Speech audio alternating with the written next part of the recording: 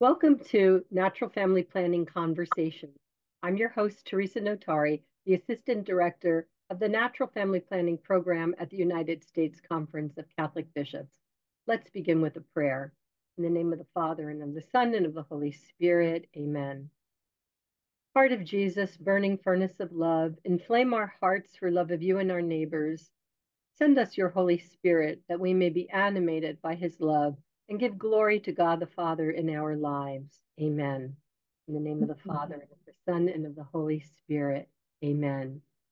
Today's reflection, a topic of discussion, but really a reflection, is going to be on living God's plan for married love and the gift of life. And we're going to do that today through talking with uh, one couple's journey uh, through embracing church teaching and especially through uh, weathering the difficulties of infertility. And to help us uh, reflect on these challenging topics, I'd like to introduce you to Jennifer Kluge, who is the uh, executive director of the National Association of Catholic Pastoral Musicians. Uh, Jennifer, why don't you tell us a little bit about yourself so that before we jump into the hardcore content of the topic and let us know about your childhood, how you met your husband, that kind of thing. Happy to. Theresa, thank you so much for inviting me into this conversation with you today. Uh, I am a cradle Catholic, born and raised on the North Shore of Boston, uh, received all my sacraments in the same parish, and really uh, Catholicism was a strong part of my life. Um, my parents uh, both lived Cursillo, for those of you who are familiar with that. Um, they uh, lived the uh, marriage encounter weekend when I was just one, and to this day belong to a marriage encounter sharing group. In fact, uh, one of the couples, they met throughout that journey. Uh, the husband is actually the deacon who eventually uh, celebrated the marriage of my husband and I. So that's how much the Catholic Church was part of my life. I went to parochial school, K through 12, and the teachings of the Catholic Church meant so much to me. And I was fascinated with the lives of the saints and, and really fell in love with our liturgy from a very young age. Uh, and that path with a love of the liturgy led me to spending most of my career in Catholic higher education and eventually to this role as the executive director for the National Association of Pastoral Musicians. Uh, throughout this journey, God intervenes in very interesting ways. Um, which you'll you'll hear a little bit more about later. I, I met my husband in 1998 through a rather strange set of circumstances relating the internet. I always joke that my husband and I met online before anyone met online. huh. And uh, it, it was uh, it was a long courtship and we were married in October of 2006. So we will be upcoming on our, our 18 year anniversary. That's that's lovely. Uh, what did did you say your what you studied when you were in school? So did you did study liturgy? I, I did not study liturgy, but as an undergraduate, uh, I went to George Washington University that had a very, very robust Newman Center. So it was wonderful to be able to practice my faith and really be surrounded by people my age who were equally passionate about their faith. Uh, then, as a young professional, when I graduated, I moved back home to Boston and started working at Emmanuel College in Boston. Uh, and I worked in the president's office, and a stone's throw from the president's office was the college chapel. Oh, so, again, the, the Holy Spirit was just drawing me into my faith, even when I didn't realize it. Right. So even with that healthy um, Catholic background and that that lovely sense of home with your religious beliefs, what did you understand about church teaching on married love and the gift of life, and specifically natural family planning? Mm-hmm. What was your original thought? Yeah. So I, I, should add that my parents also were responsible for leading marriage preparation at our parish for the better part of two decades. And my mother always had a great saying. She said, you know, the, the Catholic theology, the sexual act is between a husband and wife. And therefore, if it's between a husband and wife, there's no need for birth control. And then, therefore, you welcome any life. So you don't have to worry about anything else. She said that's, of course, the ideal situation. Uh, and, and that's, you know, certainly what my sister and I understood that we were called as married women and as married men, of course, to be open to life. Um, in my family, though, we always told the story of my maternal grandparents who used the old school, you know, I'm going to use air quotes here, rhythm method uh, to avoid having children and had nine. And my great uncle, aunt and uncle who used it to achieve children and had zero. And that was the subtext surrounding natural family planning to sure. me for my entire childhood and young adulthood. Yeah, it was really steeped in the idea that the rhythm method doesn't work.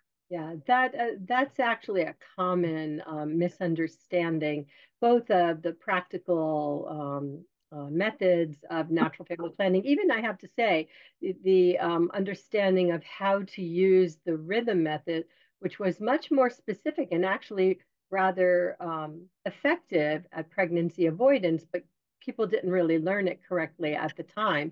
So there was another problem there. But the myth that church teaching says that you have to have children anytime you have sex is usually how the openness to life um, was um, confused uh, among lots of good Catholics. Um, uh, I can't tell you how many letters I still get to this day with um, solid hardcore Catholics writing to me asking, um, is it okay to have sex with their spouse um, and not want to have children? Well, yes, it is okay as long as you're discerning what God wants in your lives and you're also not doing anything to harm his plan. And that's where, of course, the beauty of natural family planning comes along because you can responsibly um, work with God uh, and according to um, the fertile times and infertile times of the cycle. But you know, even my my own mother and father who used the rhythm method, um, they didn't understand it at that time. Um, uh, they did have their four children, um, and uh, it was news to my mom uh, many years later when I started working in this ministry uh, to tell her about the method of natural family planning. Uh, in fact, she actually had all of her girlfriends come over to learn about it, which of course they were well past childbearing years by then. But um, they just could not believe how revolutionary it was when they all were trying to struggle learning rhythm at that time, calendar rhythm, which goes back to the 1930s, um, uh, that method. And as I said, um, the actual algorithms are, are actually pretty pretty strong and pretty good. It's just that people didn't learn them well. But in any case, enough of me. Uh, getting back to you. So, how did things start changing uh, with with you deepening your understanding? Yes, uh, the the time came in our our marriage that we definitely wanted to increase our family. Uh, and I, I say increase our family because so often when people are trying to achieve pregnancy, they talk about starting their family. And as someone who doesn't have children, I firmly believe, and I know the church teaches that my husband and I are a family. We're a mm-hmm. family of two. And, and so that's why I'm very specific in saying when the time came that we wanted to grow our family. Um, we, you know, we were, we were, you know, working to achieve pregnancy and it wasn't happening. Uh, and so we had, um, we had a visit with our, our OBGYN, which, you know, is where most women start. Uh, and I was about 35 at the time. And he said, you know what, it's it's time to get some evaluation done.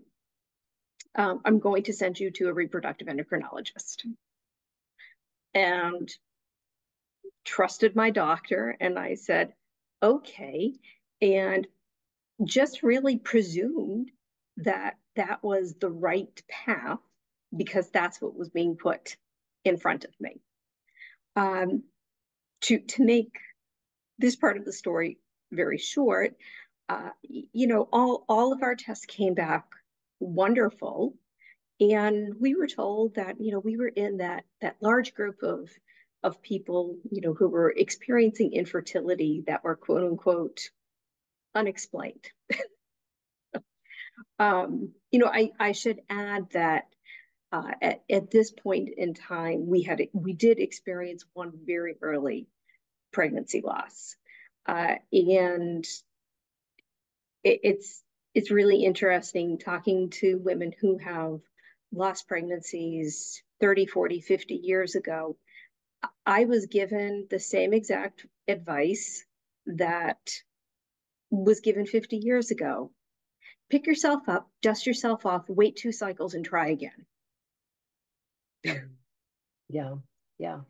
Uh, why hasn't this changed in 50 years? Mm, exactly. Yeah. And and and so we went through the testing and we were told, okay, unexplained infertility. So here are your options. And all of the options were medical interventions that I knew from my childhood as a Catholic, as a very well-formed Catholic, flew in the face of Catholic teaching around this this subject, and um, really had a struggle to decide what I wanted to do or what we wanted to do as a couple. And you know, of course, my husband would never have me do anything that I did not want to do, particularly because as the woman, so many of those things are happening to your body. And we bluntly put our reservations aside. We said, yeah, sure, we're still going to be Catholic, but we're just going to put a pin in all that for the moment. And we proceeded down the path of assisted reproductive technology and still had no success. Wow. So now it's, you know, the physical impacts of it, the time, the financial impact of it as well. And we were having no success. Um, and, you know, it was that point we decided, okay, we need to take a pause. Um, in the midst of a whole bunch of life changes, buying a house, my father having triple bypass, and my husband starting a new job. Somehow we discovered that we were expecting again. Oh, wow. And then we lost the pregnancy about three weeks later. And all of this, we are like, okay, well, but, but we, we really want to have a child. And so we decided to go to a different reproductive endocrinologist, equally respected in the Washington area, who looked at us point blank, blank and said, Yep, your only option is IVF. Looking at everything, your only option is IVF. Well, okay, well, we, we need to think about this.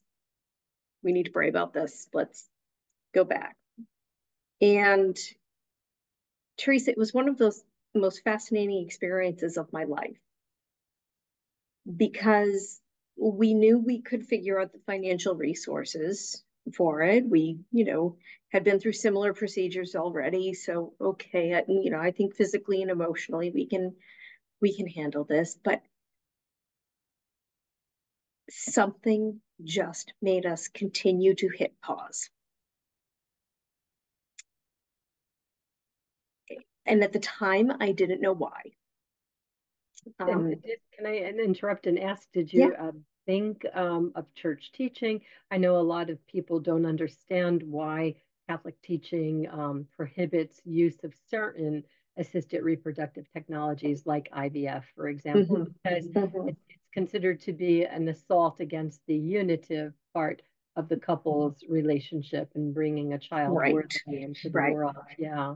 And I mean, did that, that, did that that was absolutely weighing in our minds mm-hmm. that we felt like the steps we had taken before were uh, you know obviously not in conformity with the church's teachings but we hadn't like really we we felt like IVF was that big line in the sand.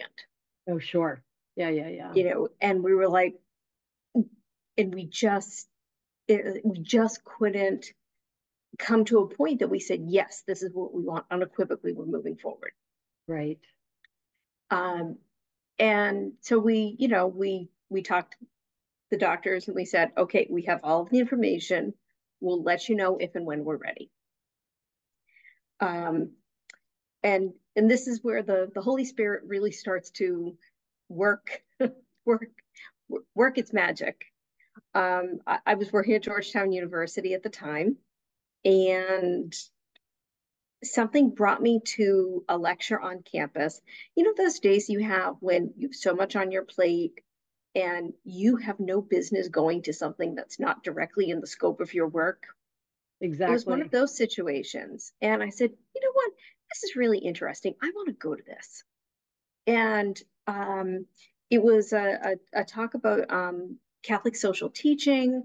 Um, Father John Enzler from Catholic Charities was there. Father John is in residence at, at my home parish.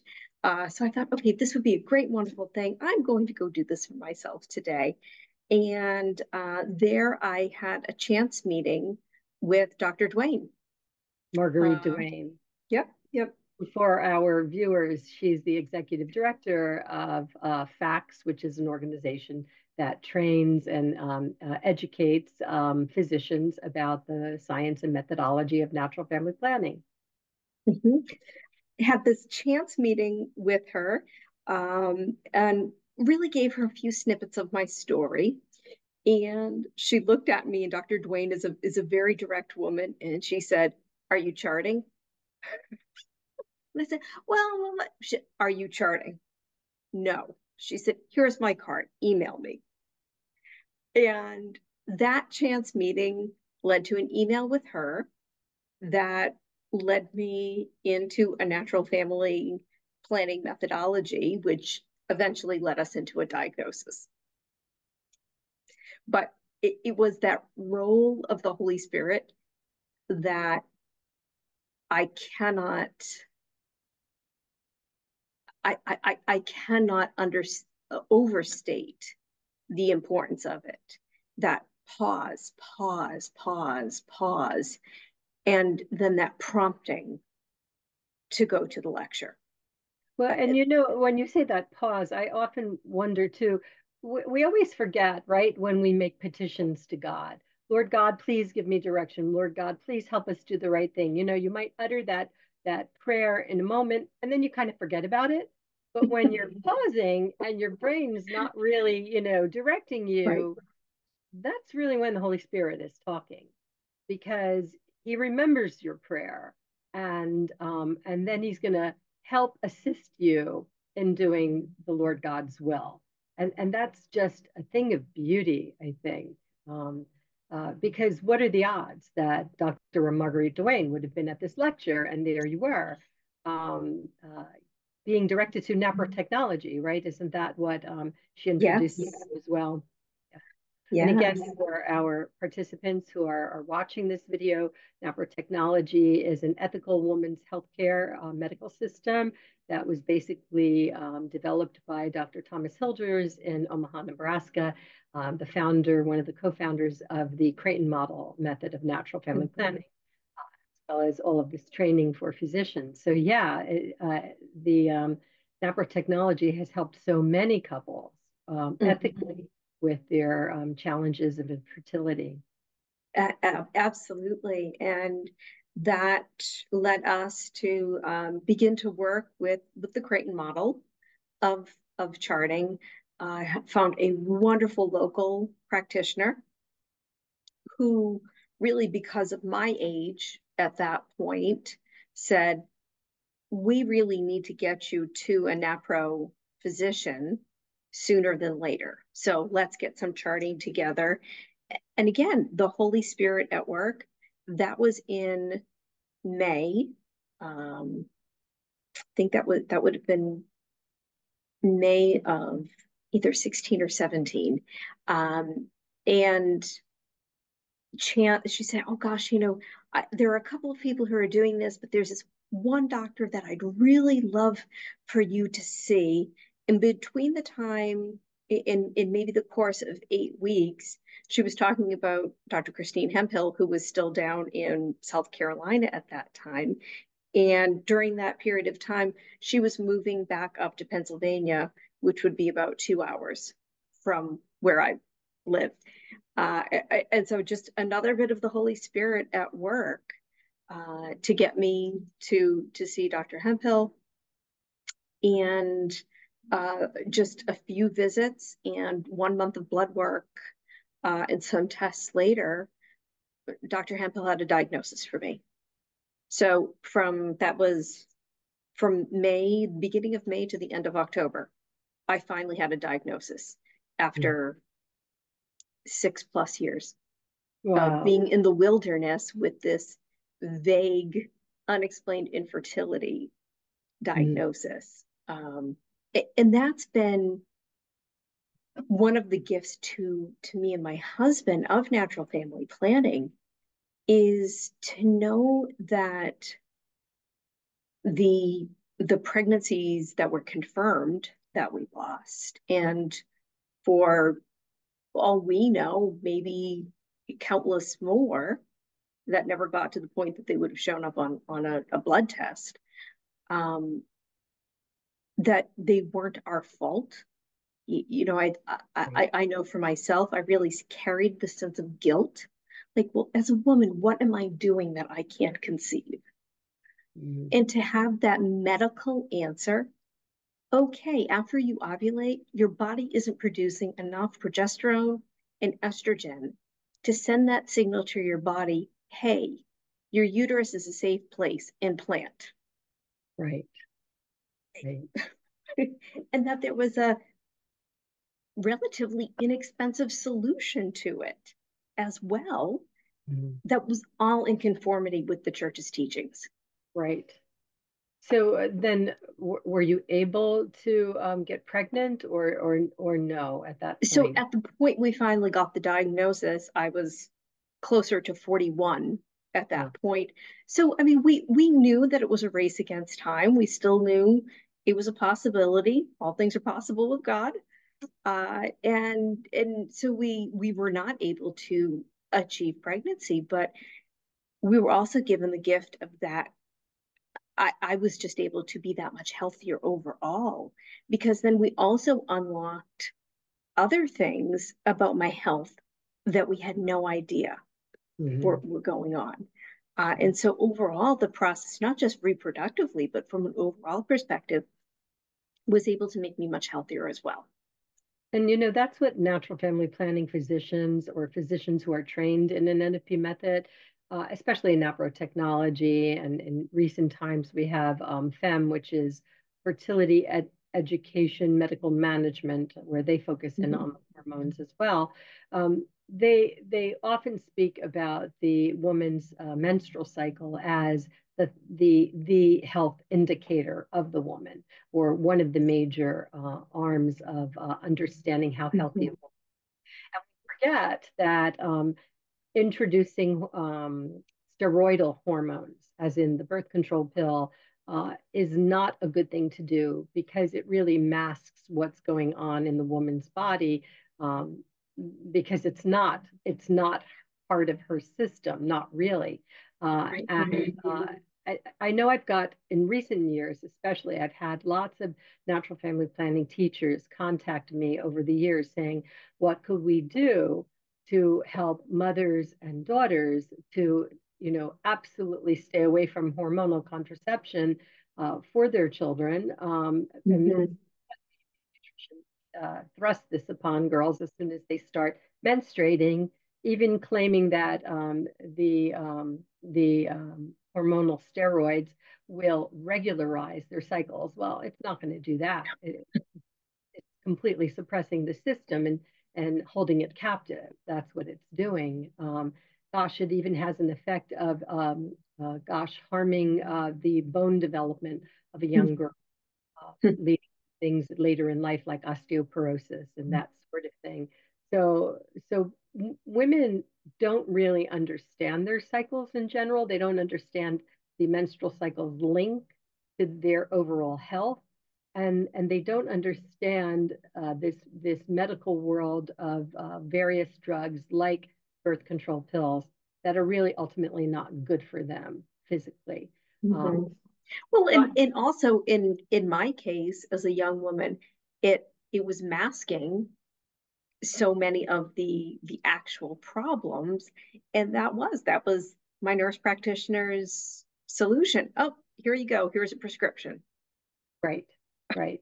Yeah. So when you were young, if you found out that you weren't producing enough progesterone and estrogen, there there are other ways to stimulate that in your body. Mm-hmm. With uh, yeah, and and again, how do we get in front of that that um, that trouble curve, right? Because mm-hmm. um, I think women, because technology, medical technology is so advanced at this point in time, um, many of us think, oh, we have time we have time to think about when to settle down and get married. We have time to try to get pregnant, and you think your fertility is going to be there, and it may not. Mm-hmm. Um, and the problem of assisted reproductive technologies, mm-hmm. which you explained, you know, really puts couples through such an, an emotional roller coaster and a physical mm-hmm. one too. Mm-hmm. It's not yes. all that healthy for yes. a woman to hyperstimulate her ovaries, right? Uh, or or do whatever. Yeah, you know, and I I think back to our marriage preparation where uh, a married couple gave a witness statement about natural family planning. So I mean, um, all credit to the Archdiocese of Atlanta, where we were living at the time, for including such a session in in their program. Um, you know and and i i readily admit theresa you know because i, I even as a you know I got I was 30 when I got married, you know. So even as a 30 year old, I'm you know kind of rolling my eyes, you know. Uh, the old joke, oh, what do you call people who use natural family planning? Who parents? You know? mm-hmm. That exactly. that old joke, you know. That that's absolutely what I had in in my head. Um, and I I I always say I wish somebody had really talked about the science behind what this is and didn't just talk about NFP writ large, but really got into the different methodologies and and explained it yeah. to the engaged couples in a in a much more concrete way. Or heck, even you know having women's groups and men's groups in in college at, at Newman centers and other Catholic communities explaining this and, and actually explaining, hey, it's a viable option. You know, it's it's not a free for all, but it is a viable option. Right. Yeah. Uh, in terms of marriage prep, I can say in the dioceses, there's such great variety. Most dioceses lead with church teaching, which which you need to do that when it comes mm-hmm. to natural family planning, because you have to explain the huge why. Why do we not allow artificial contraception but we allow these educational methods where you learn about your body, where the couple works mm-hmm. together with their combined fertility to understand the fertile window, et cetera, et cetera. Um, uh, if you don't understand the why, it's going to be very hard to change your behavior because these methods are completely uh, based on behavior change. And we're talking mm-hmm. right. National thing. Right. And yeah. Uh, so the promiscuous life is not a good preparation for this. you know, and and that's why you know I I I really felt this call to tell my story much more openly, to tell our story more openly, um, because I think so many times whether you know whether it's marriage preparation or or other settings it, it's not the rule, um, but it generally seems predominant that you're hearing from a couple that has multiple children.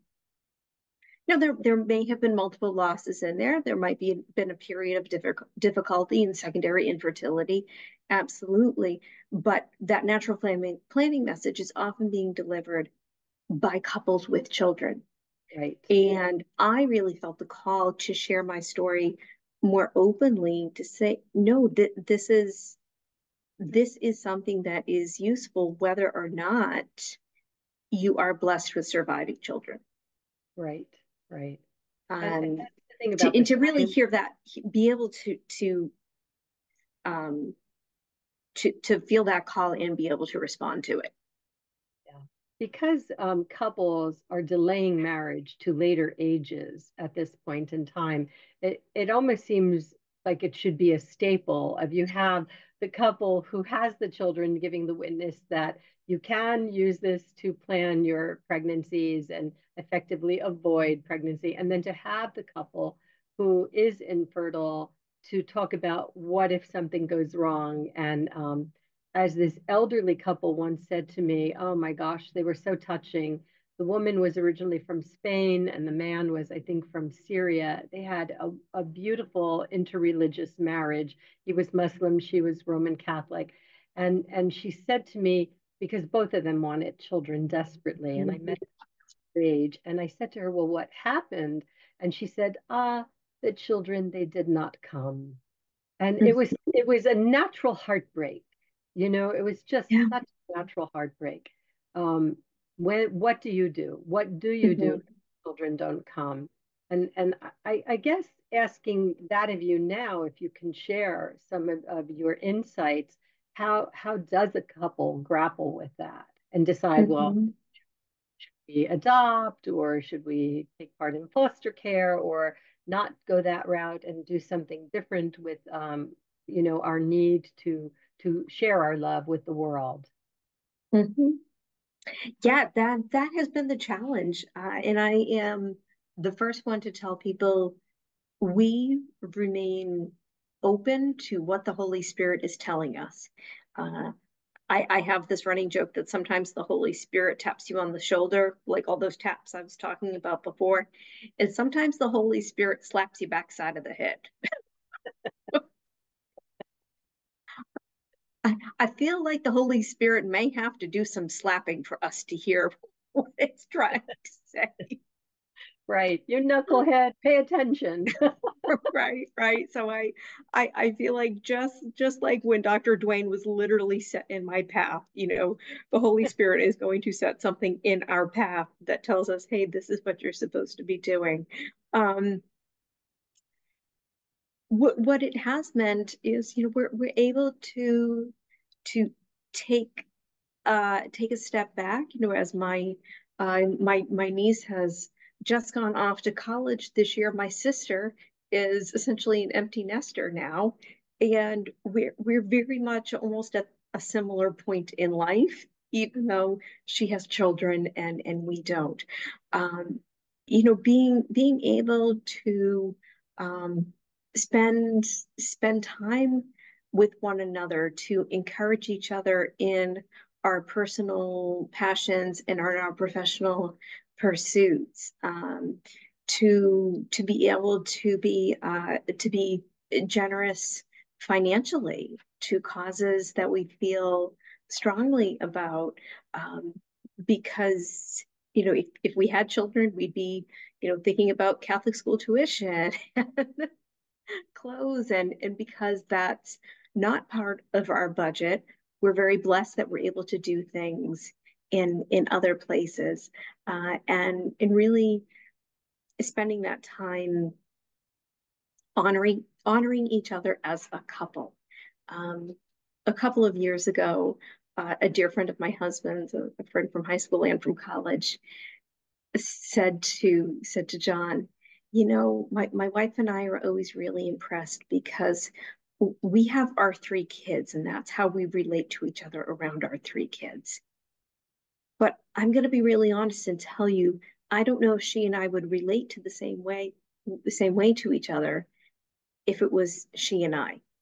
He said, I, and I'm just always so impressed with how you two have built this, the two of you Um, and, and that's always really struck me that, you know, again, going to what I said earlier about being a family as the two of us and right. honoring that uh, is is so important. Isn't that the challenge? It's so true. Um, just uh, life, life in general can just sweep us all away, where you mm-hmm. wind up becoming almost robotic in your relationships within the family. I mean, even um, I think when I think of the family, it's not only the nuclear family, but for me, being Italian American, it's also the extended family. I remember it was getting close to my mother's eldest sister. Um, probably the, the last months of her life. And uh, my mother was last in the line of 12. Mm-hmm. Um, and so Aunt Rosie, when she was starting to get even more frail, she died in her 90s and she had arthritis. I mean, my sisters and I laugh because we often say now that we're aging, why did we think aging would be easy? Because we're not finding aging easy. Well, it was because my mother's eldest sisters, led by Aunt Rosie, made it look easy. The only thing they ever complained about was we weren't visiting them enough. a bit. But but I remember just helping her with something in the kitchen where I had that that graced moment where you just stop and you really look at the person mm-hmm. and you mm-hmm. realize the utter preciousness of that person yeah. and and and just how beautiful Aunt Rosie was, how adorable what a treasure in the family and my life, etc.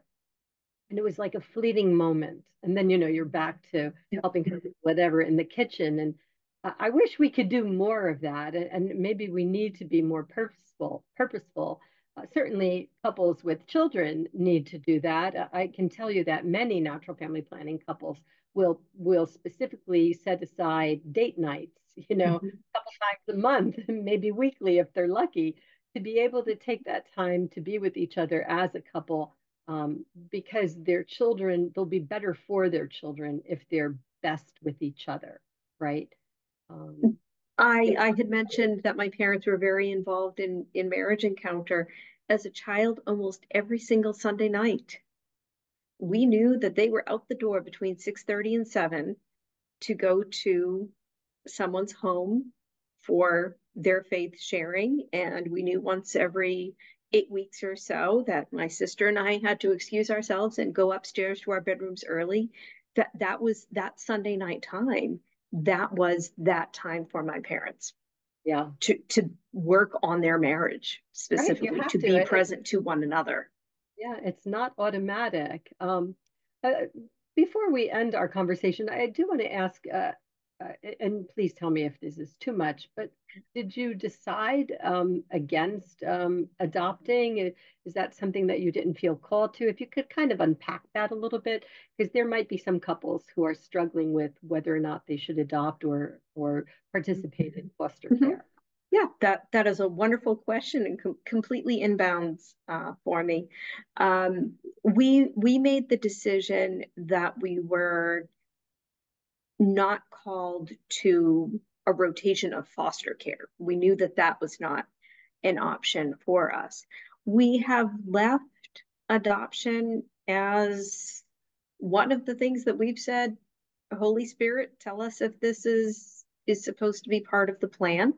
Um, you know, at, we have talked about it and we've said that um, our ages, myself being in my late 40s and my husband being in his early 50s, that we would be called to ad- adopt an older child. We we have talked about that. We know that's something that, um, if we are prompted by the Spirit, that's that's certainly a direction that we would go in. So we haven't we haven't made any decisions, uh, and I think that's um, that that is one of the important things to remind myself and, and to also say to the, the listeners as well that if you are not called to biological parenthood, you may be called to adoptive parenthood and you may be called to spiritual parenthood.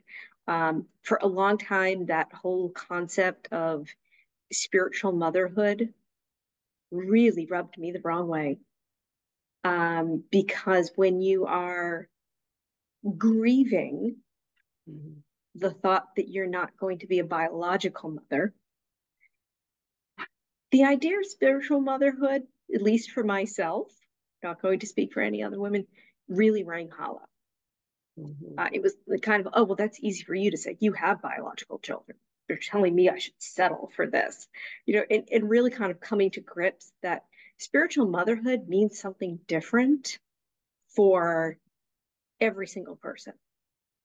Uh, and when I look to our example of Mary, who has her child in a barn as a teenager, and 33 years later has to cradle her child as he's died. You yeah. don't get a better example of spiritual motherhood and biological motherhood than that. Yeah. Uh, and and really that keeping that that imagery in mind um, has been really helpful for me. And, and again, it, it's it's staying focused in the Lord, being really working to hear the Holy Spirit. I, I think, and couples, couples usually cu- couples who are uh, as engaged in their faith as as you are, um, they know the importance of taking that time to pray separately as well as as a couple. Mm-hmm. And I think that um, if if you really want that life of meaning, that um, that true domestic church that you're building as a couple, uh, where where you're welcoming children or you're welcoming others coming into your home filled with the Holy Spirit, you've got to you've got to make that room to hear Him in the quiet times of your day, whether it's 15 minutes in the morning or you know a little bit before you go to bed, uh, somewhere to take that mm-hmm. time. Mm-hmm. You're right. Uh, uh, being open and and and knowing what God wants is so important and and sometimes he's just way too subtle for me. You know, I, I, I really do wish he'd hit me over the backside of the head a lot more. yeah, I, am I'm, I'm the first one to admit I missed a lot of the subtle cues. the subtle cues, um, but I would I would think something like that of of being uh, an adoptive parent or a foster care parent. Um, I think that that he's going to build up that desire stronger so that a couple will notice it. And I have heard those testimonies from couples over the years saying things like, well, um, I wasn't talking to my husband about it. I just kept getting this idea, just kept like coming up that we should mm-hmm. uh, mm-hmm. homes to children, et cetera, et cetera. And then all of a sudden something um, serendipitous, uh, serendipitously happened and, and, and they mm-hmm. out together that yep. they were having the same ideas. And yeah. so there you go um, mm-hmm. it's it's it's a it's a good it's a good soul check